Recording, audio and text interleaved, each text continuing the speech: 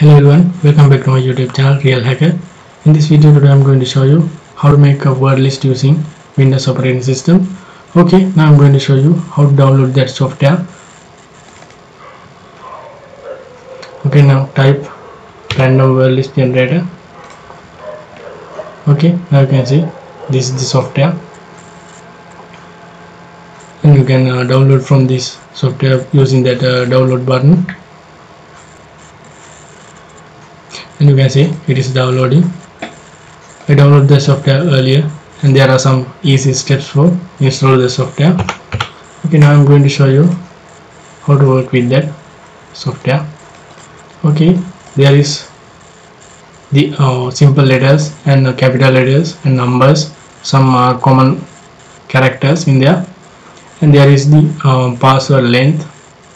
We can change that password length also 8 or 9 or such like things.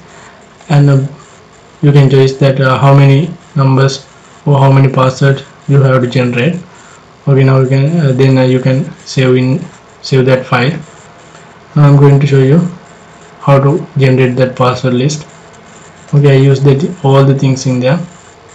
And uh, I choose only 8 length and I put that 100 passwords then I'm going to, I'm going to save that things in my desktop as word list.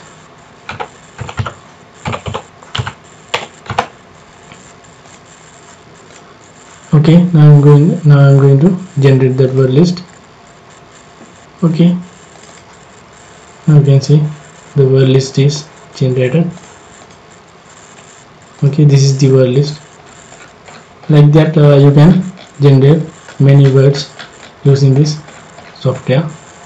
Okay thanks for watching my video. Let's meet in next video